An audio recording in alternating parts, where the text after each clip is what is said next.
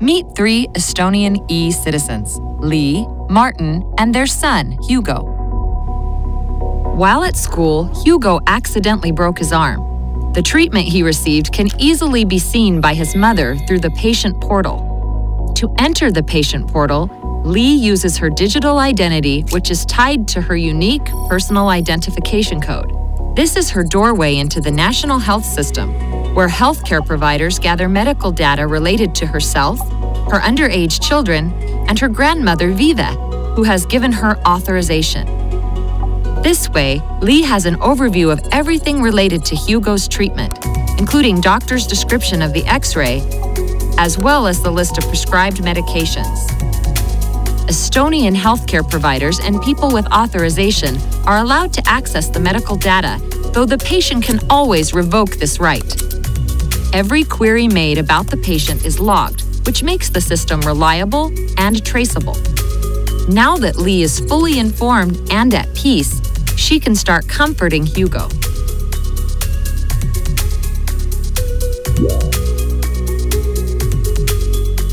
Lee has to go to the pharmacy to buy medication for her son Hugo and her grandmother Viva.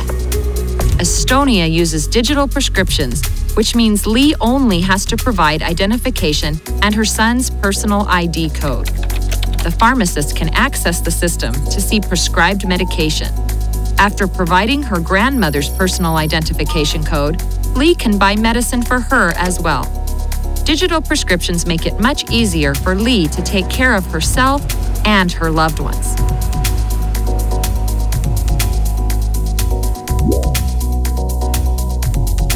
Last year, Martin had a traffic accident.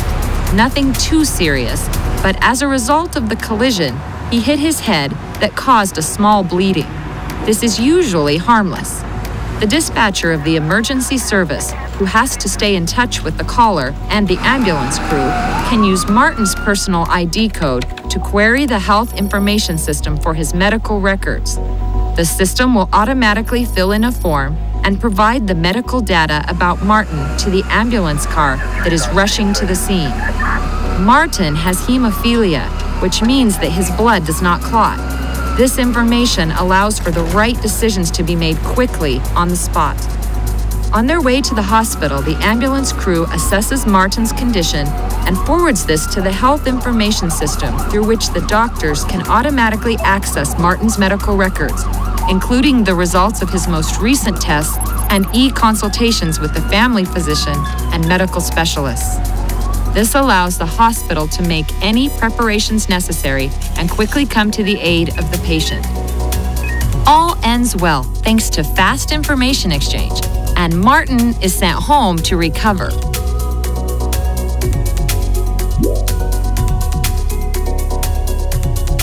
It's been a few weeks since Hugo broke his arm.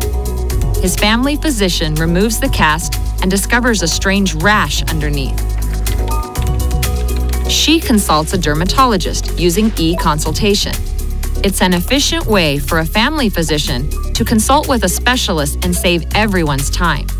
The dermatologist, who can also access the medical records about Hugo, gives recommendations for further treatment.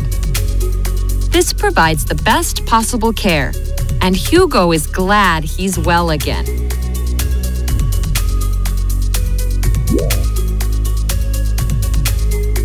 Lee receives an email notification through the state portal that her driver's license is about to expire. To renew her license, Lee needs a medical certificate, which is issued after a medical checkup. Before going to the doctor, Lee first opens the patient portal to fill out a health declaration. After she signs it digitally, the declaration can be accessed by the doctor. It gives her the information about Lee's health in advance. The pre-filled declaration makes the visit quicker. The health certificate is immediately sent to the National Road Administration, and all Lee has to do is apply for license renewal using the information system of the Road Administration. This will only take a few minutes, and in a few days, she will receive her new license by mail.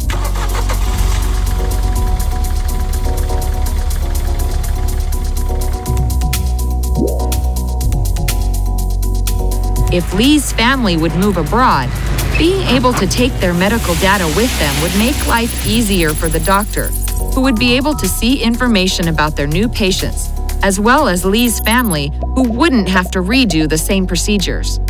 This would provide them with an increased sense of security and satisfaction in their new place of residence.